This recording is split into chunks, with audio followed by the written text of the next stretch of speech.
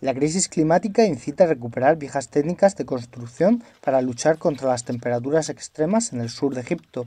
Utilizando gravarena y arcilla se busca recuperar estas técnicas de construcción por su sostenibilidad y durabilidad. Uno de los beneficios es que los materiales provienen de una fuente local y están disponibles en el lugar o en sus cercanías, algunos de ellos a media hora del lugar de construcción. Otra ventaja es el aislamiento térmico. Estos materiales son ideales para lugares en los que hay grandes diferencias entre el verano y el invierno o la mañana y la noche, ya que proporcionan una temperatura y humedad agradables dentro del edificio. A pesar de los beneficios que supone la construcción con tierra en climas como el de Egipto, desértico y además afectado por el calentamiento global, sus escasos defensores y alguna organización aislada encuentran muchas reticencias en el país árabe. Sus detractores alegan que el acero o el cemento permite construir edificios más altos y las leyes del país no recogen las técnicas milenarias.